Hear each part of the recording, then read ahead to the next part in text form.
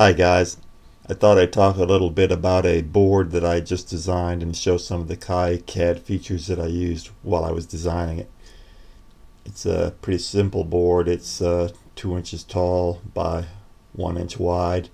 It's a two layer board with 6 mil trace and space uh, and no parts are on the back. All the parts will be mounted on the front and all this is done to keep the board as cheap as possible the main uh, part of the board, the focus of everything is this uh, Cypress PSOC 5 LP programmable system on a chip. Uh, it's in a 68 pin QFN package and everything else is on the board is built to support this chip. We have the normal uh, contingent of bypass capacitors that go around it and a couple of push button switches here a PMOD connector and a connector for an ESP8266 Wi-Fi board and they share some pins with each other. Uh, got a programming header over here for injecting the programming signals for programming the, the PSOC. Crystal oscillator over here for uh, 12 megahertz uh, clock uh, which is amped up inside of the PSOC using the PLLs four LEDs and current limiting resistor network over here. Big honking 3.3 uh, volt linear regulator uh, because this board may be supplying power to some boards that, that are attached to this one.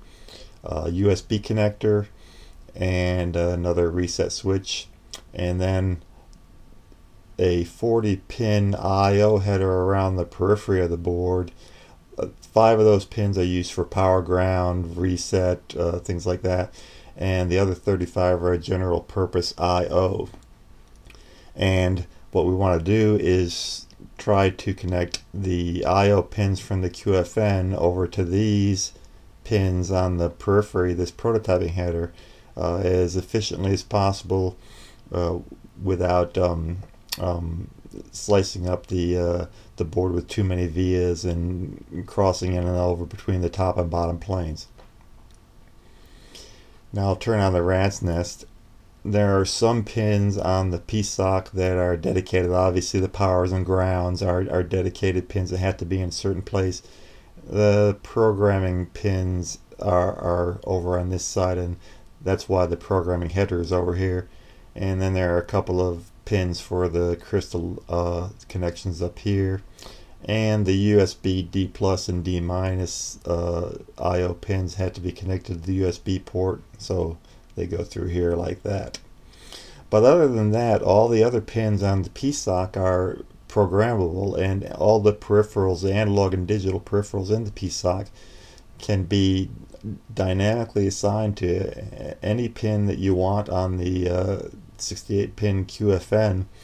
Uh, so there's not a lot of dedicated functions on the Q on the PSOC pins that you had to put in specific places. So it's really just a matter of trying to get these pins from the QFN over to these prototyping header pins and then once the user programs this board they can decide what peripherals attach to which pins on the prototyping header.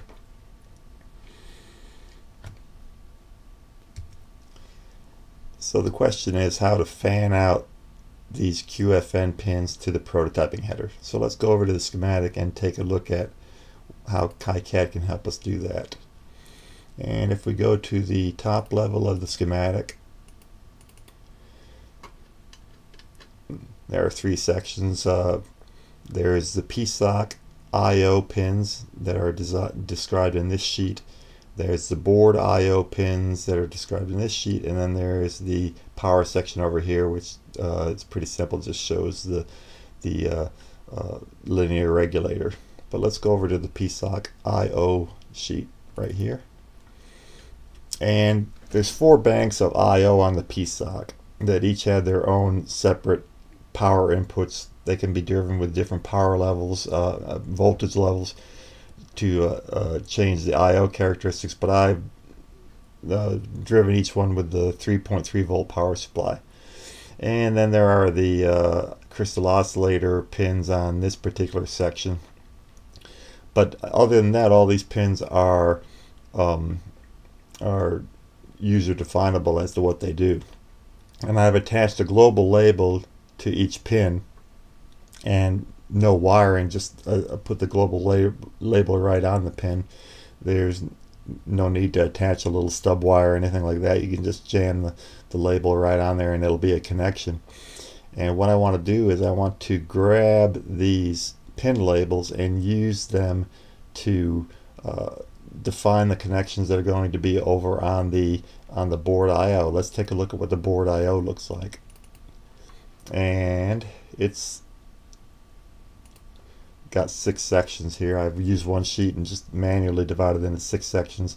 It's got the USB port over here, uh, and it's got the uh, PSOC programming, programming header over here, uh, the four LEDs, the two switches and the reset switch, the PMOD header and the uh, 4 pin extension for doing the ESP8266 uh, interface.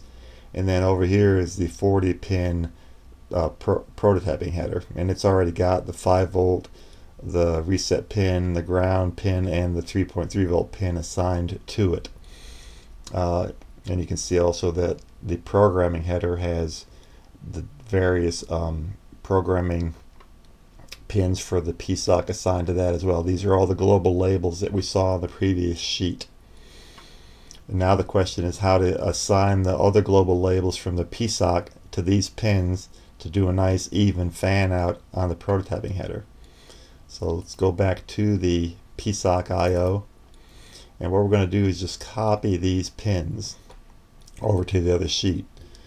So I can highlight that and then say copy, hit the C button. Well, maybe not the C button. Copy block. Right there. Now these pins go from 10 over to 21. So I want to get the next section of pins and that turns out to be this section of pins which starts from 29 and goes up to 41. So I'm going to grab those.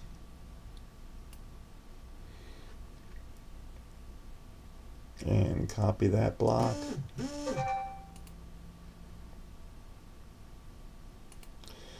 And after 41 we go over here. This is pin 46 through 55 so we can grab those. I got one extra copy block. Let me get rid of that guy, hit the delete button on that. And then the last section of pins are these over here.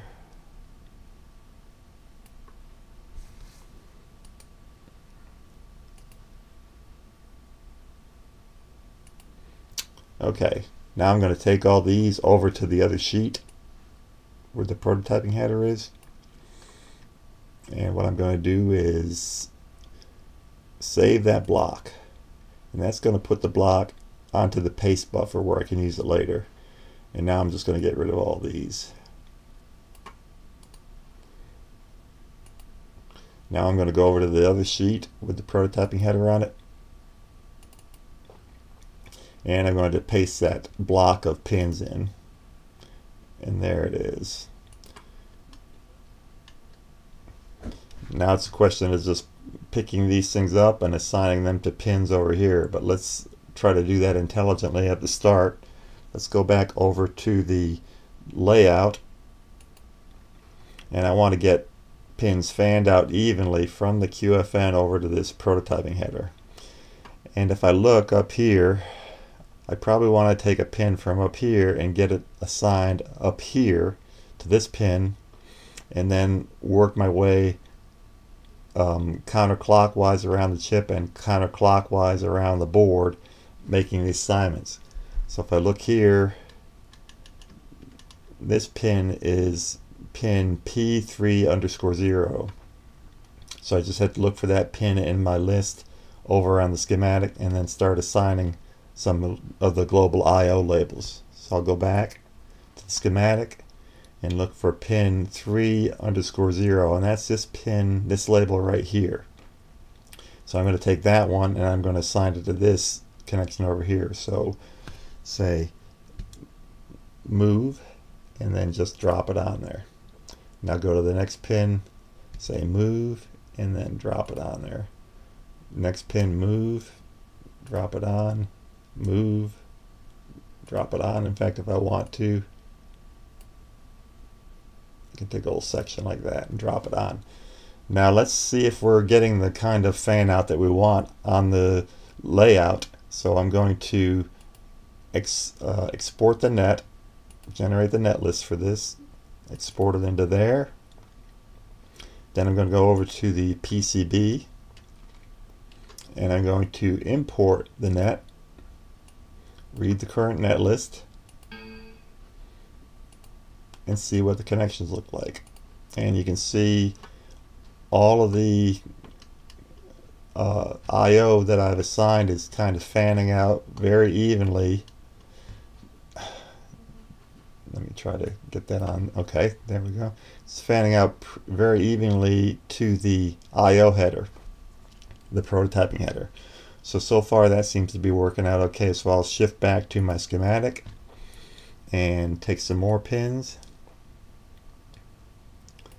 and drop them on there. That pin and export my net again. And with KiCad, you have to export the net and then re-import it back into the uh, layout program. You don't have a live connection like you do with Eagle, which is one thing I miss about Eagle, but you can't have everything. So I'll export it again go back and look at the layout, re-import.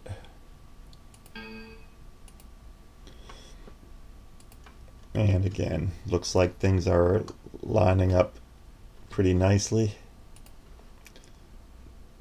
Now I've got to make the connections through to the, there are a total of eight I.O. pins that are used down here. There are eight that go on the PMOD connector, and then I share uh, those eight connections with the ESP8266 connector. So I'm going to go ahead and assign those pins and I don't really have a good idea which ones to go where but I'll just put them in there and see what happens. I'll take this one. Assign it here. Take this one. Rotate it around. Assign it here. This one.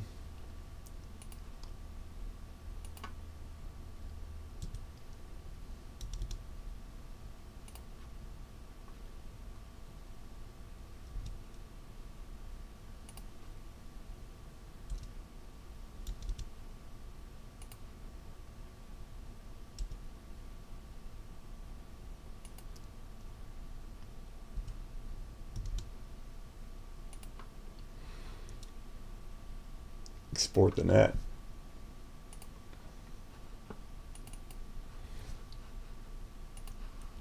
Import the net.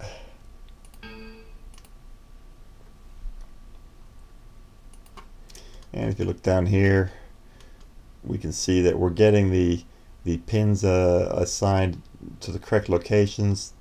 They may not be in exactly the correct order. Looks like they may be need to be flip-flopped on some of these pins, uh, but possibly not, depending upon how you route them in there. But let's go ahead and, and flip the two pins, these two pins and these two pins. So go back to this connect to this schematic and we're going to take this one and move the global label over to this side and move this one over to that side.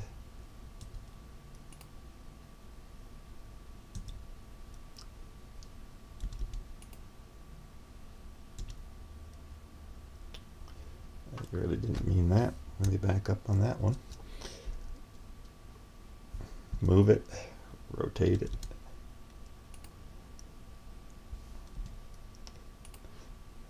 export again.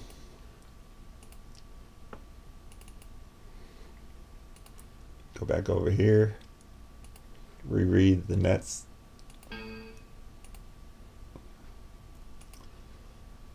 And that looks a little bit better for those two in the middle, for those two in the middle. And now we go back and we'll finish up with the assignment of pins.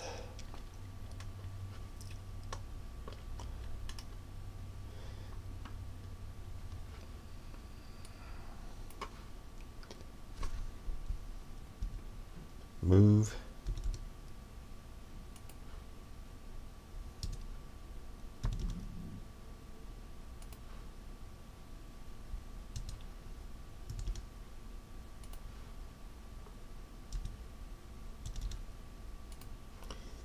and the global labels in KiCad really make this easy to assign, assign signals and, and move them around. I don't use a lot of, uh, of wires in my schematics. Mainly I just use the labels because I'm doing a lot of microcontroller and FPGA designs which are really just like big bags of logic with a bunch of I.O. pins attached to them and there's not a real defined signal uh, flow with a lot of these microcontroller and FPGA designs, so there's not a lot of reason to do a lot of manual point-to-point -point wiring because it doesn't really show you much about what the circuit is doing anyway. In the linear sections where you have power supplies and, and amplifiers and things like that, it makes more sense. Now I'm going to pick a start from the top here, and I don't want to use the uh, reset pin for anything, so I'm going to delete that. That's a dedicated pin it can also be used as I/O, but I have used I have dedicated it for the reset function, so I'll delete that one. And then I'll go ahead and put these in here.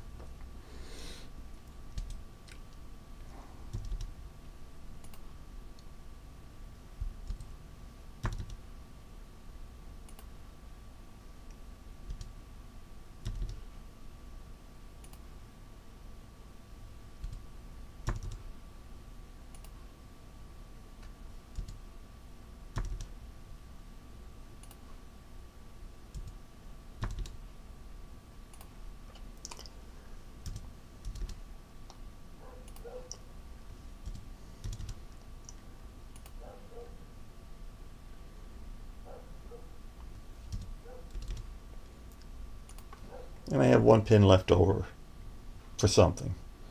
I don't know what, but possibly a button or something. So I'll go I'll go down here and take it and I'll just put it on a button and let's see how that all turns out.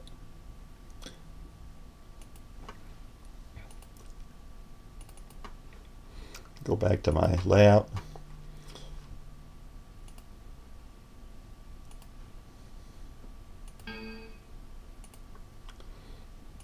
And take a look at what I have here and I've got a pretty nice signal fan out all the way through here. Sorry.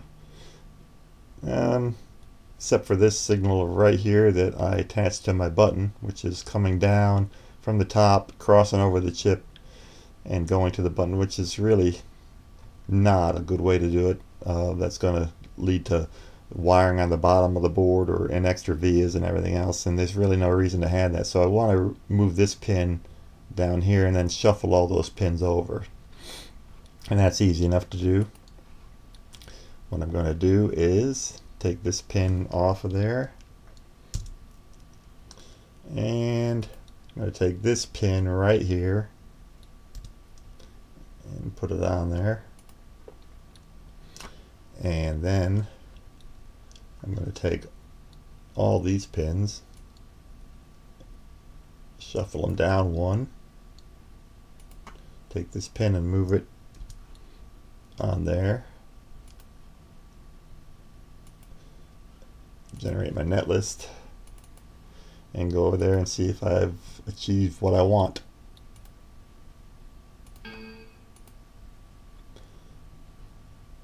Let's see. So now yeah it looks like the connection is going from here down to the button and everything else through here is okay as much as possible with uh, you know the programming the, the reset pin. That's the reset here is a dedicated pin so there's no way I can move that. So it's going to cut down across these other pins and there's not much I can do about that other than then handle it in the routing. And you know nothing's perfect. You're, you're going to have some vias going through anyway but other than that it looks like a pretty good fan out from the QFN of the PSOC to the prototyping header. So I'm pretty happy with that. Okay, I've defined the uh, net connections, uh, how the uh, pins on the QFN are attached to the prototyping header. And after that, it's time to go and do some routing. And as you can see, I've already done a considerable, considerable amount of routing on this board. And what I'm going to do is show you how I use KiCad's new push and shove router to route these connections here. Now previously when I worked with Eagle it was always a matter of, especially in tight little regions like in here, it's always a matter of, of just fiddling and fiddling with vias and, and traces trying to get design rules to, to not be violated and it was always uh, uh, I mean to route this many signals here you know might take an hour uh, but with the push and shove router and KiCad it's actually pretty easy. So what I'm going to do is uh, make sure I'm set up for this. I have I'm using 6 mil traces 27 mil vias. I set my routing grid to be as fine as possible because if I'm going through these uh, tight little areas in here it uh, helps the uh, push and shove to to find a viable solution. And now I'm going to start the push and shove router and to do that I had to put myself into the OpenGL mode for viewing and my screen will change a little bit when you do that and just go in here and start the router and right click in here to set up my routing options. I'm going to set myself up in the shove mode. There's also a walk around mode which I won't use here and a mode that just highlights collisions but doesn't really do any type of auto routing for you. But I'm going to work in the push and shove mode and I've got these options set up here. It'll shove vias around. You can turn that off and it doesn't really seem to do anything uh, to help at all. You're still going to shove vias. I don't know if I'm using it incorrectly or if that option just doesn't work very well. And I'm not going to jump over ob obstacles and I'm going to uh, remove redundant tracks if any are found, automatic neck down, smooth the drag segments, so on and so forth. Uh, those, those are all relatively default settings. And optimization effort while it's push and shove is set to medium now all I have to do is go here and I can drag and I'll put a via in here in order to oh wait I don't have to put a V on that one so I'll just leave that one alone. And here's a ground. The ground is the one that needs the via so I start routing the ground. I put V and you can see how it kind of moves that moves that away. But uh, I'll put a V right there and end that net then this is sorry. Now I'll uh, route the oscillator pins.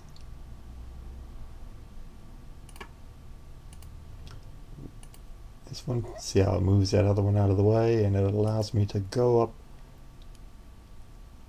between these pads of the oscillator of the, of the crystal without violating design rules. And now this one. And just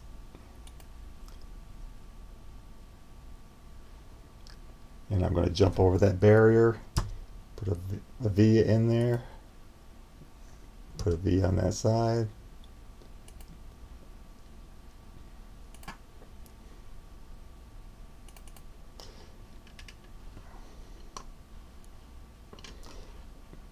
then go route this one.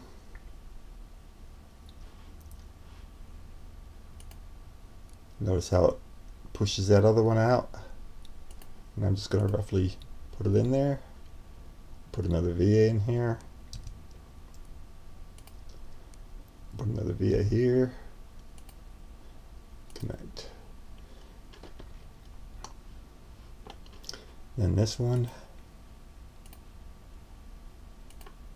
I'm not obviously obviously I'm not being very careful what I'm doing here. I don't have to be because I can shove these things out of the way as I as I work. I don't have to do a lot of planning beforehand about how how to leave space for things because the push and shove will just put that in there. Take care of all the details for me and allow me to just concentrate on the global aspects of routing and then I can go back later on clean all this up. So those are all routed. Now I can go over here and route this. And you can see how hard it would be to snake a lead from here over to here with that big V in the way. So let's see what happens. And I have a little stub left here from something. So I'm going to delete that.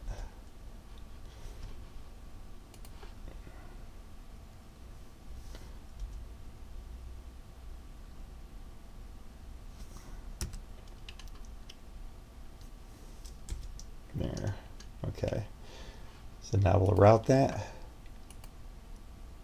And see how it pushes pushes everything away and makes it very easy to to get this thing routed in there. Now I can route the USB lines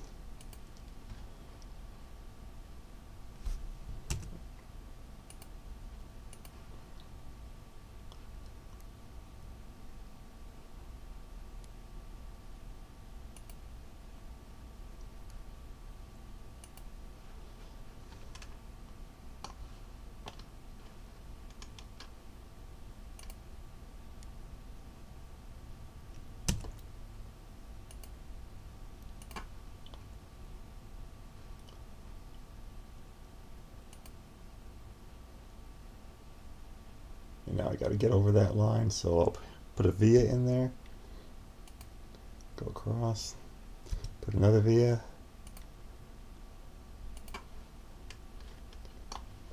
and now I've got four lines left. These are for the LEDs. Put that one in.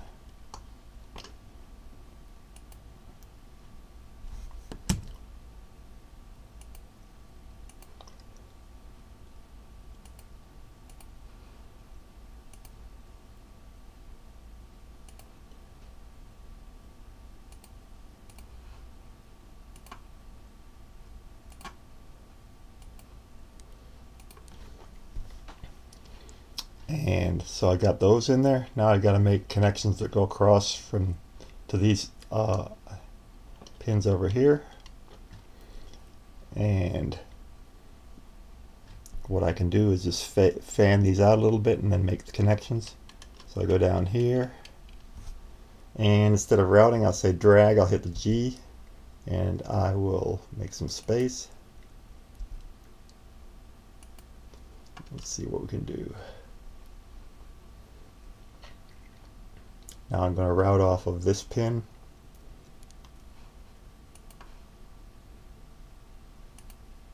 I'll put a via because I have to jump over.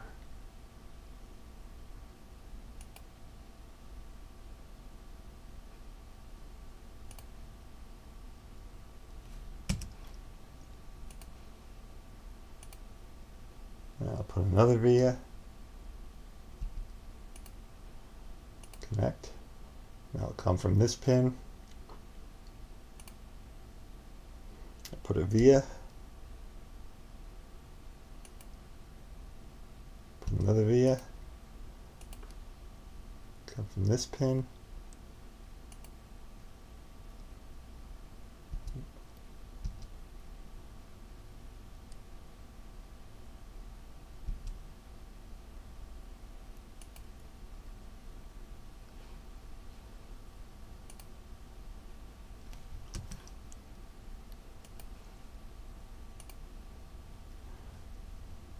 via and I'm going to drag these down a little bit or I'll try to slide another via in here or I could put one up here either way. But let's try to drag these down. Drag it. Drag the via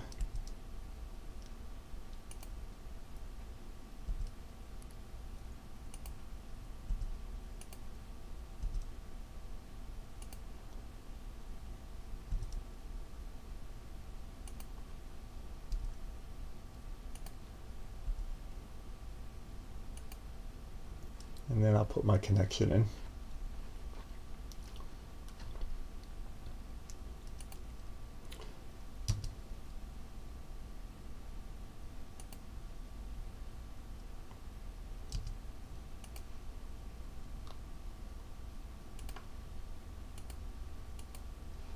I've made my connections and I've still got one more connection over here that I have to handle which in this case is going from one side of the chip to the other so I have to have to do that on the bottom layer there's just no avoiding it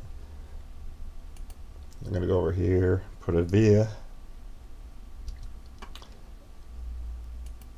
and then come across here put another via and then make my connection. Now you can see how simple that that was.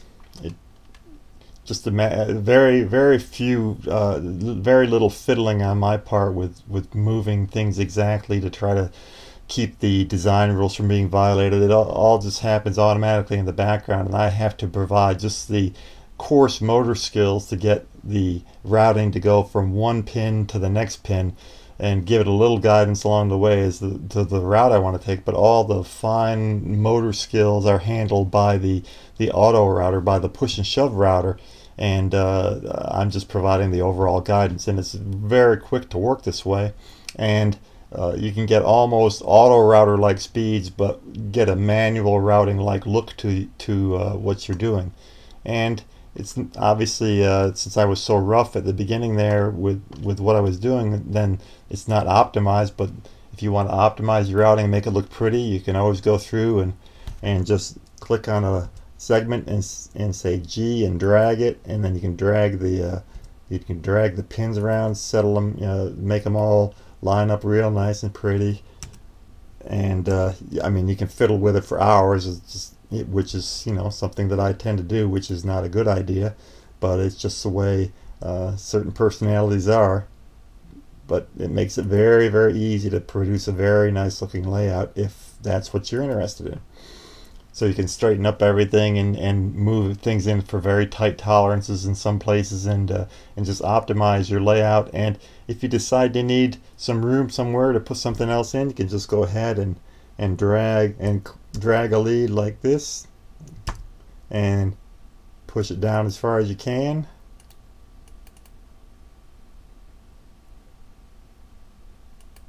and put yourself some room in there to do something else.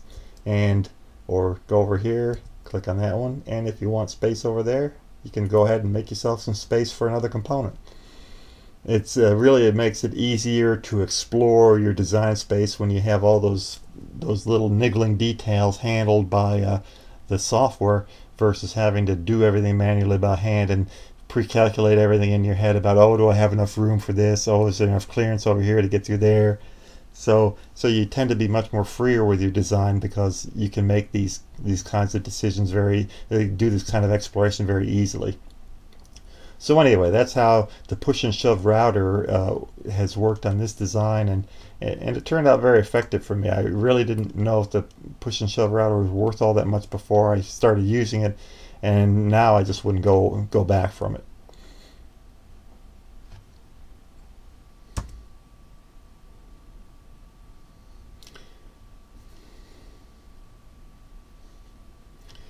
So here you have it.